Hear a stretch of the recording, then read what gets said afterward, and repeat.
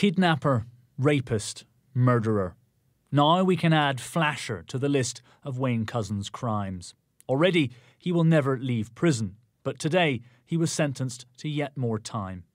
For the offence against A, count 2 on indictment number T 2022 0638, the sentence is one of 19 months' imprisonment.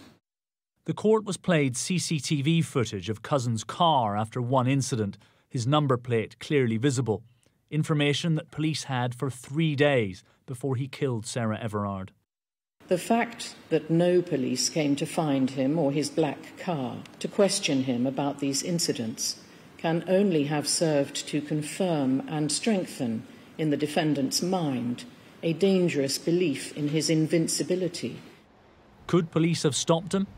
An independent inquiry will seek to answer such questions. Now that Wayne Couzens' legal proceedings have ended, the police watchdog, the IOPC, has been able to release the full details of a WhatsApp group that was found on his phone after his arrest. In it, Cousins and six other serving Metropolitan Police officers exchanged racist, sexist, and homophobic messages, most of which are too extreme to even broadcast. A warning that some viewers may find even what we can show you to be highly offensive. In February 2019, Couzens joked with one of his colleagues, Matthew Forster, Remember, Forster, it's got to be consensual.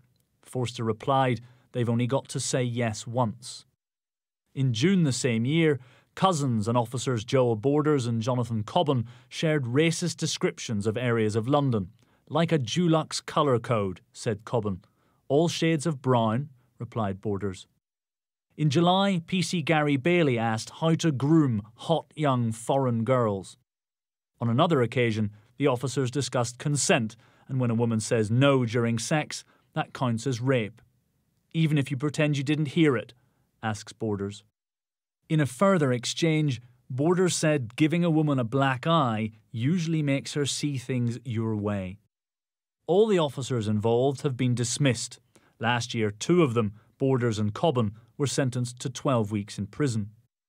I asked the man now responsible for standards in the Met Police for his reaction.